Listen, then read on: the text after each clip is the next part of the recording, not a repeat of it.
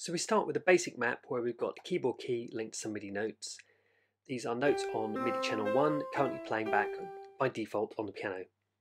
So to change the notes, go to the top and select the MIDI instruments tool from the toolbar.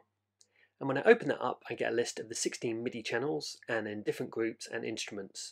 So to edit the instrument, I just double click on the channel row and it opens up this window here with lots of different instruments. And as you can hear, when I click on an instrument, I get a short preview of what that instrument sounds like.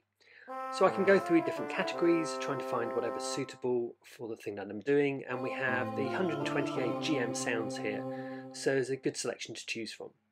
So for my particular one, I'm going to choose the pan flute, and I just click on OK when I'm happy, and then click on OK again. And if I just open up my MIDI notes block and hit preview, I can now hear that I have my pan flute sound. And I can then just go and play my map. And I can play away using the pan flute rather than the piano keyboard.